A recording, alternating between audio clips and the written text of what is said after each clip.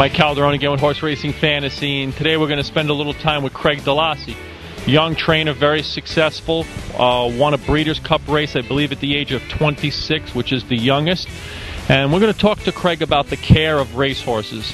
We want our fans to see inside, you know, we know inside our game you're not taking care of the horses, but we want to see and show the fans that play our game the care that goes into the real world of horse racing, how much attention has to be provided to each horse. Craig, we're privileged to have him give us a tour inside the barn of Craig Dollase, and we're looking forward to it.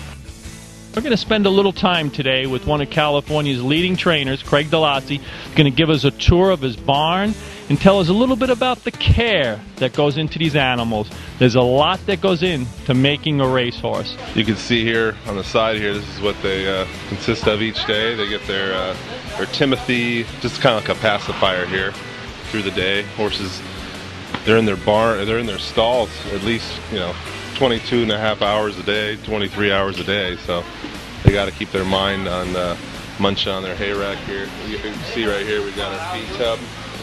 Horses get fed. Craig, do they get different types of hay? Will different horses need different types of hay? Just like people, certain foods they will be good and certain foods they don't want, they don't eat? Absolutely. And this particular filly's got a hay rack here with uh, some Timothy. Uh, they, it's, uh, it's just kind of a light type of uh, um, hay that she, she munches on and uh, she appreciates it. This right here is a little oat hay mixed in with it. It's got oats in it. You can see the oats. Yep. And they really, uh, they really like that. When uh, this horse goes out for an exercise, how far will she normally go? Oh, it all depends. Every day is a different day. Yeah, different day. You train all these horses individually. Uh, but her routine now, she had a breeze here the other day, a workout, a recorded workout. And uh, let's see, she uh, she walked yesterday, she jogged today. She'll probably gallop the next two, three days in the interim. Maybe we'll stand through the gate, you know, go through her lessons. Uh, This is seven days a week. There's no uh, there's no day off. This is not Monday through Friday. This is seven days a week.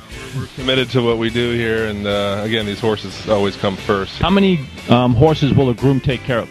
Uh, typically four.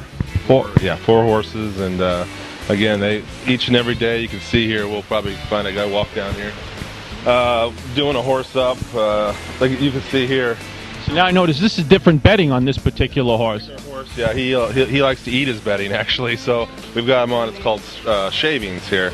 You can see the shavings here, and uh, he, he he won't eat that. That doesn't taste very good. So And he's in the process of being made up now, and that's why he's waiting in the back. The groom's just finishing him off. finishing them up here. You can see he's all wrapped. These horses are wrapped in my barn each and every day. Every Uh, leg wrapped. Every leg wrapped. Yep, checked on. Uh, like I said, we monitor them very closely.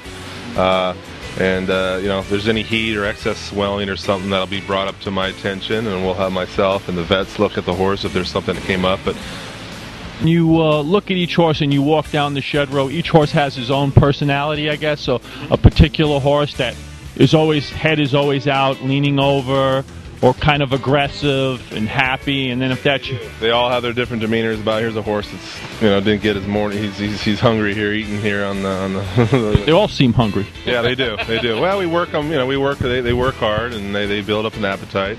Here's a particular two-year-old filly here. We, we put them in ice. There's another. Uh, So that's ice around their legs right now. you know, uh, not necessarily have any problems. It's just something. It's maintenance. We use this as maintenance and uh, keep the inflammation down. This is a young two-year-old filly here, and a lot of times, typical with two-year-olds, they get shins on their cannon bone. Shin splints? Shin splints, correct.